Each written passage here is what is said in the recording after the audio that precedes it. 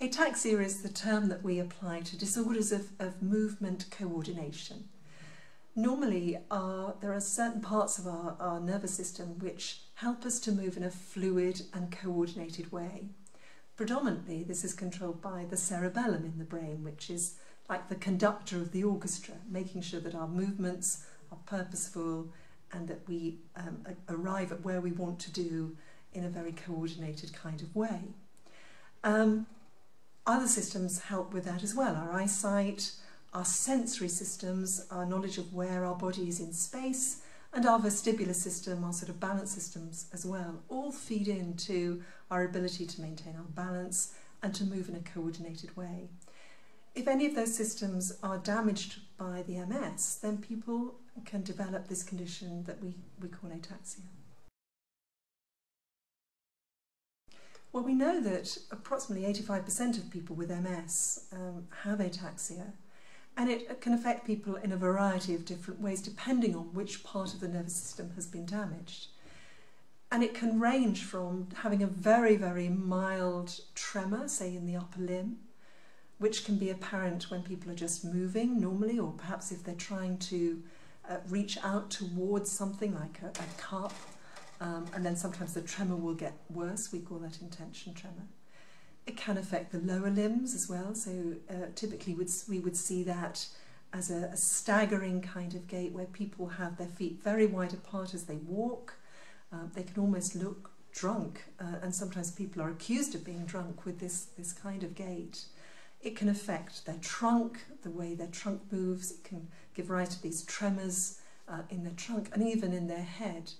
It can even affect their, their eyesight, the way their eyes move, their speech, the coordination of speech, and can even affect the coordination of their respiratory muscles as well.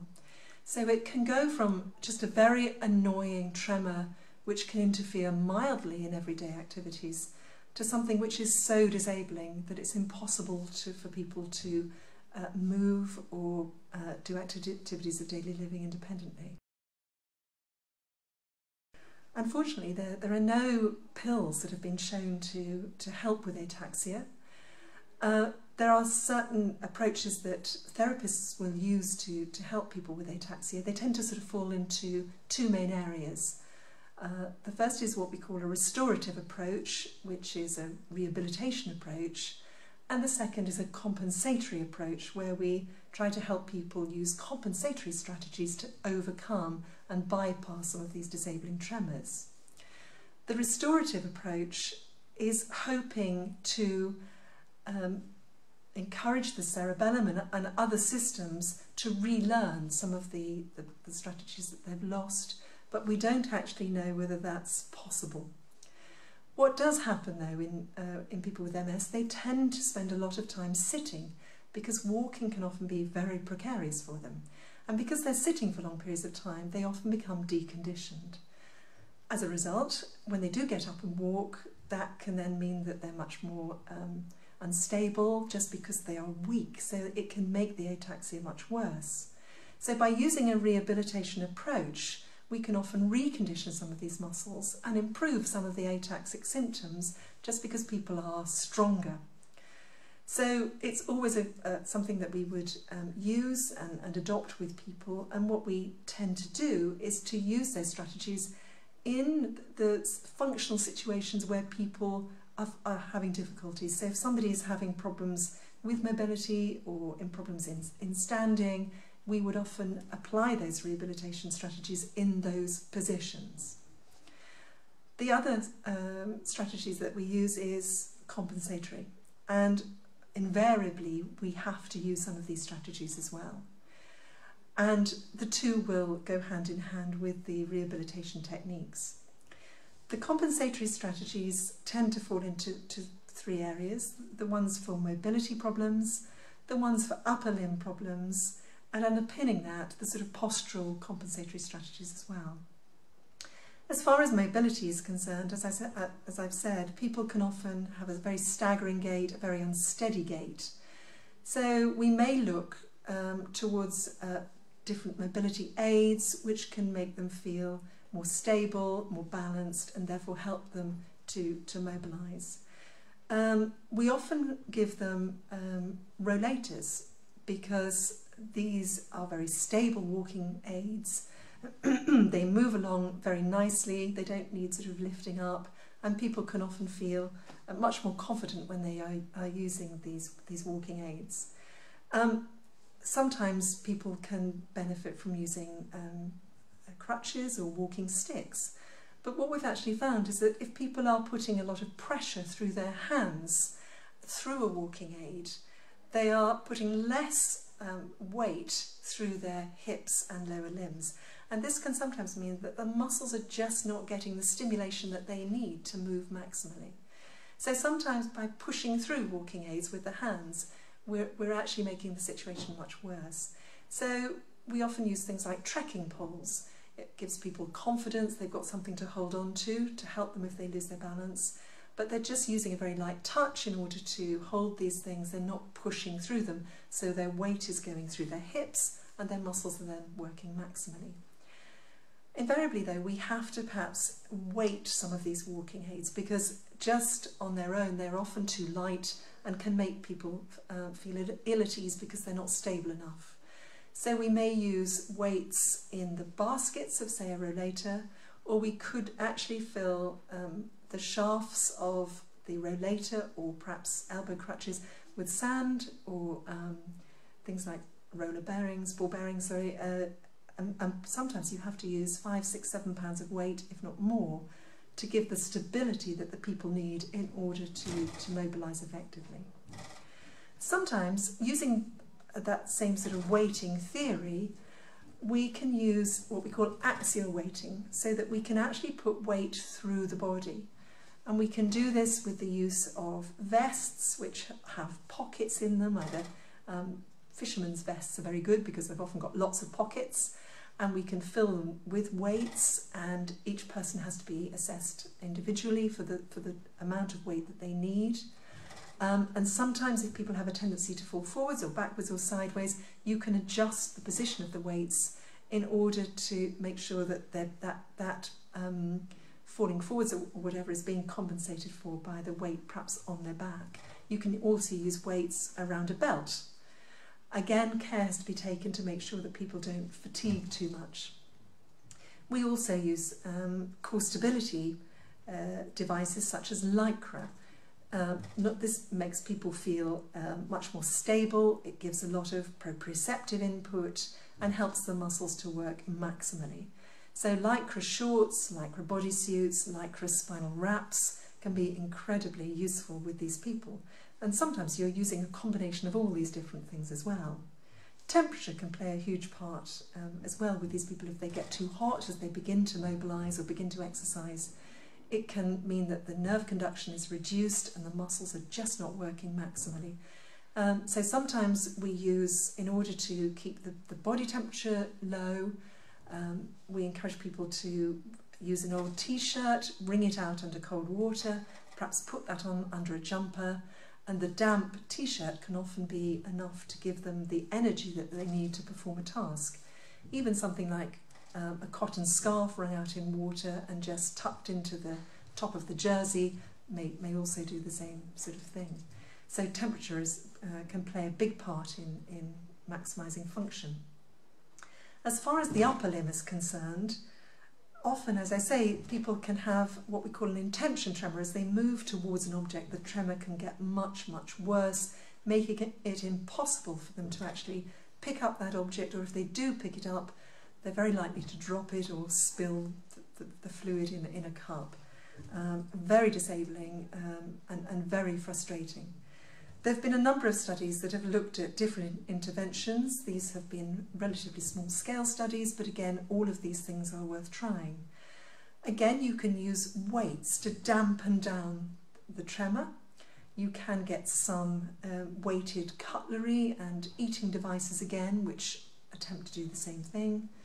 Um, these can be very successful and, and people can find that they may be able to eat a meal with, with rate, weighted wrist cuffs um, on, but occasionally they'll get very fatigued and so care has to be taken that the weight is um, is assessed to make sure that um, it's not too heavy and then making the muscles fatigued. And if it is too heavy, um, what I do is just cut a little slit in, into the, um, the wrist cuff, let some of the sand out, and let people keep trying different weights until we find the weight that, that suits their particular functional needs. Again, Lycra can be incredibly useful for people with upper limb function problems. Um, some people find that they're very difficult to get on, the Lycra garments. They can be very hot, but when they work, they work incredibly well. We test this um, in a very cost-effective kind of way by using Tubigrip. We use size B Tubigrip, the smallest Tubigrip uh, that you can get. We put on two layers from the, the fingertips up to the armpit and we test um, uh, movement with the Tubigrip. We send people home with the Tubigrip to see how they get on. Sometimes the application of the Tubigrip is enough to give them the desired results. Um, sometimes it, it needs to move on to a, a referral for a lycra garment, but at least it gives people some idea as how these lycra garments will feel and whether or not they can tolerate them. Again, cooling has been found to be very useful with these people. Um, you can either use uh, ice packs for 10 or 15 minutes over the forearm muscles, or we've found that using wine coolers can be very, very effective. You put them into the fridge, you slide them onto your forearm, and the forearm just happens to be about the size of a good bottle of wine. And um, if people put these on 10 or 15 minutes before they're about to do something functional, they often find they can then eat their meal and the tremor has been uh, reduced. So ice can be in incredibly, uh, cooling can be in incredibly important. The other thing that we've, we've found is that peripheral vision can also play a, a huge role in helping to dampen down some of this unwanted tremor. Often if you put the target in front of somebody in the centre of their visual field, the tremor can be much worse.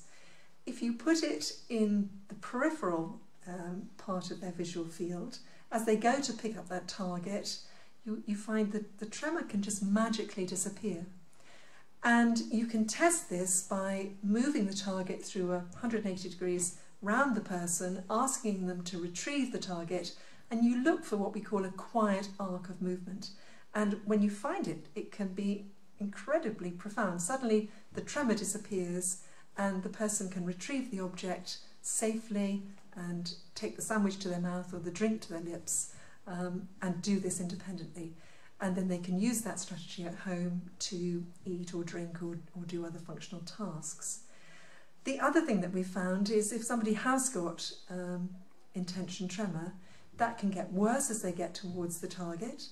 So if they overshoot the target and, and trick their body into thinking that they're not actually aiming for that cup, and then pick the, the, the object up on the way back. And sometimes then they can manage to do that functional task without the tremor interfering. Sometimes you may have to use all of these strategies together. The Tubigrip, the icing, the overshooting, all sorts of things. So it's worth knowing about all these different strategies so that you can sort of bring them together sometimes to, to produce something which is functionally, functionally useful for the patient. It's also a good idea to make the object that the person is picking up as sensorily um, attractive as possible to the body. Because if you just go to pick up, a, say, a, a handle of a mug, it's very smooth, it's not really relaying much information to the brain, so the muscles are really not um, responding maximally. If you make that environment more um, attractive to the sensory system, so you may be covering a handle of a hairbrush or a toothbrush or a mug with scrunched up tinfoil or velcro or stuck on pieces of scourer pad or something which is novel, it's something that the brain isn't really expecting, then as the person goes to pick up that object, you get a much stronger muscle output and that can sometimes make the difference between it being able to do a task and not. All of these things are very dependent though on a, the background of a good postural, uh, stable environment. So making somebody stable in the, in the chair that they're sitting in by um, making sure their feet are on the ground, making sure they're well supported, making sure that they've got perhaps even cushions in their sides to make, to, to make them feel very safe and very supported can make a difference to, to their tremor as well. Um, we also find that if you uh, move single joints very slowly, you can sometimes get rid of the tremor altogether. So if you're trying to pick up an object on a table, instead of having to control an arm, um, a whole arm in space, if that arm is actually leaning on the tabletop and all you're having to do is to move an elbow to pick up the object and then move the elbow back towards you, so it's just a single joint movement, often the muscles will respond to that in a, in a way which um, allows you to do that movement very smoothly.